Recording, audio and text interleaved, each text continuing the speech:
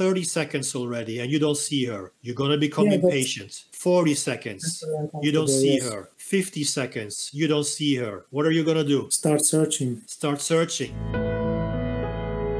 I don't think it depends on the depth. I think it depends on understanding what danger means in snorkeling or freediving and yeah, assessing a situation and uh, making decisions that, that make sense. If you go snorkeling with your wife, always be mindful about the system of one up, one down. If you go diving with another person, so you're with two people, when Yeah, okay, one one goes down, down, the other. Yeah, stays yeah. up. One up, one Yeah, yeah, down yeah.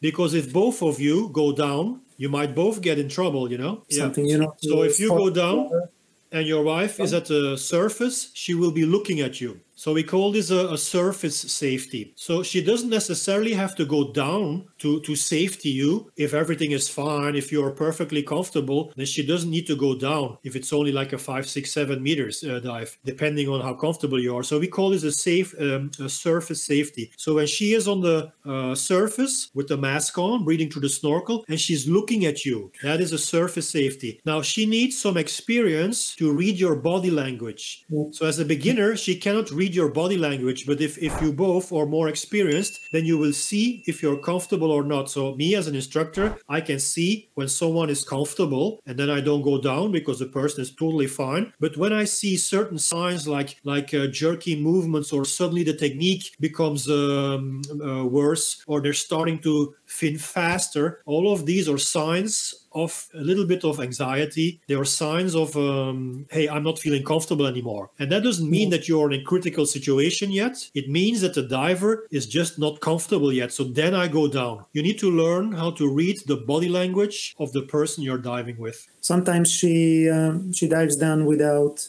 uh, letting me know, you know, and I just look around, can't, can't see her, and and um, I just wanted to take into consideration how safe it is, you know, to, to do shallow dives.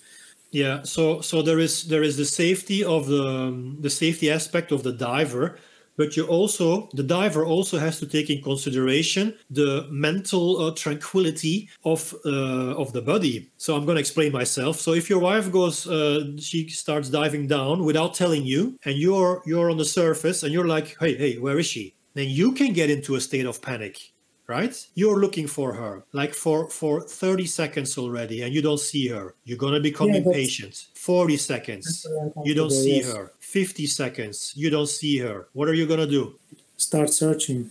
start searching but she might be totally fine a little bit further away. While you will go down to search her and you will keep on searching and you will bring yourself into danger because you will be diving alone and you will be staying longer underwater because you think that she blacked out. The one who's going to black out will be you. Guys if you want to be part of the live streams like you saw in this video then please go to join.gertleroy.com and become a member of my channel. You can become a member as a freediver an advanced freediver or a master freediver and depending on the level you choose you will get different perks but all of them will have access to the live streams Back to the video. So you have to take care of each other. So a diver always has to communicate with the other diver. So if your wife goes down, she, ha- she has to show you she's going down, right? You have to know she's going down. And you have to see her from the start because if she goes down and you only like 10 or 15 seconds later start looking, it can be difficult to spot her. So you always have to keep an eye on each other and, and tell each other what you're going to do. There is nothing worse than being a safety diver looking for someone and not knowing what happened, you know? This this can be a really a stressful situation and eventually you can put yourself into danger.